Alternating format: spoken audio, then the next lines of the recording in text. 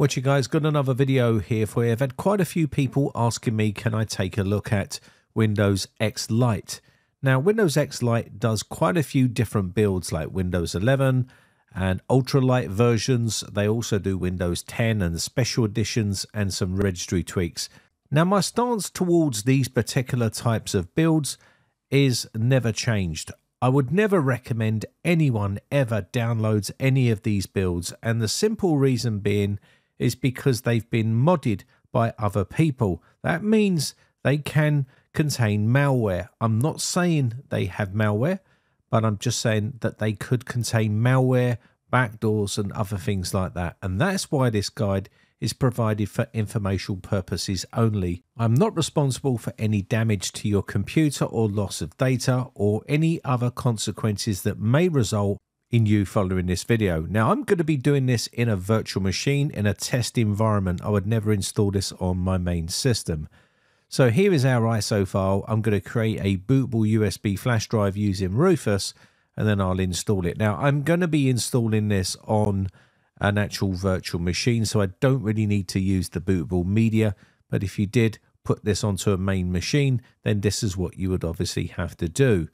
The problem with these I have is that they are modded, and that means components have been removed and things have been added, and that means that could be risky uh, using this on your main PC.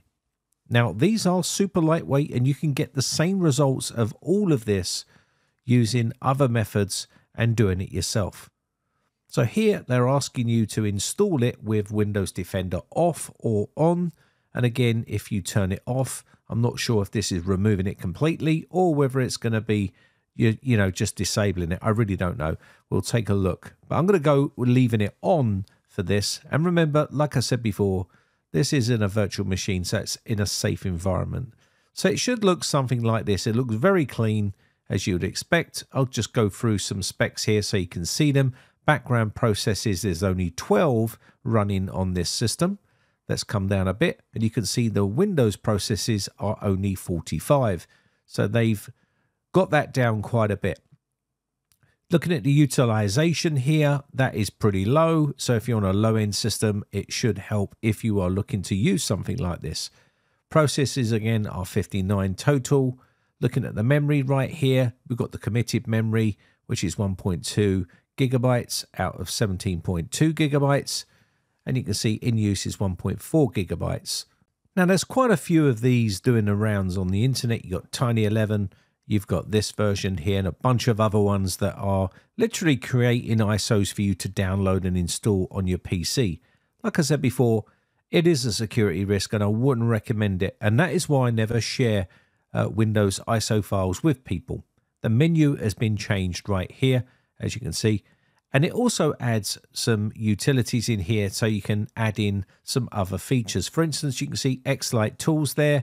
That's got a bunch of other tweaks and features that you can add to it, like say, for instance, the Microsoft Store, or you can re-add Microsoft Edge because all that's been taken out. You can see there is a local account pre-installed here. You can even change the name because they give you a little script which will allow you to change the username to whatever you like and you'll notice that it's not been activated. So this is not a pre-activated version, which is also a good sign.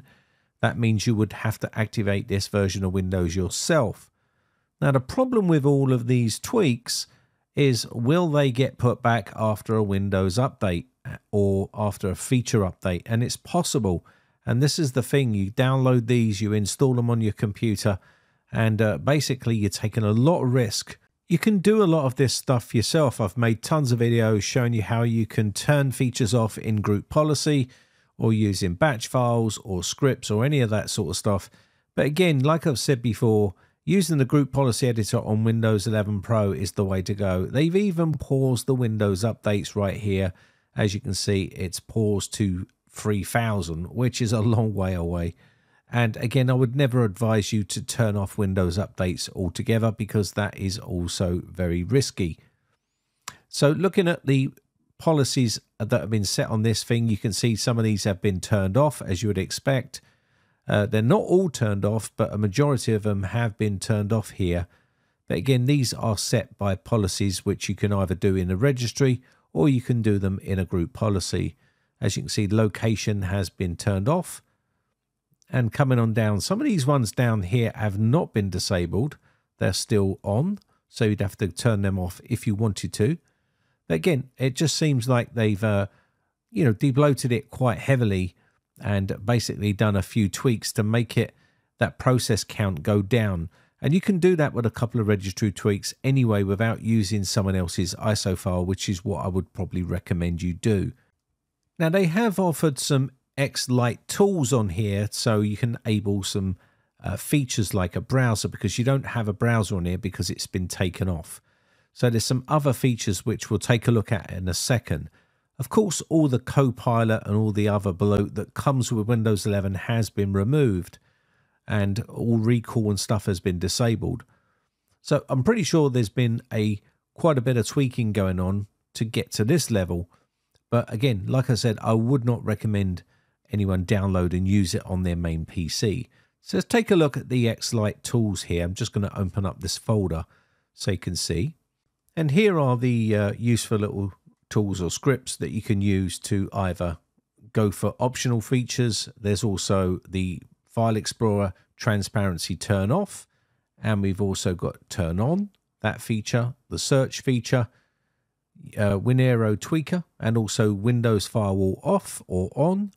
We got the Windows print spooler on or off, depending on whether you've got a printer. So if you wanted to turn it on, you could click, click on this and it will enable your print spooler.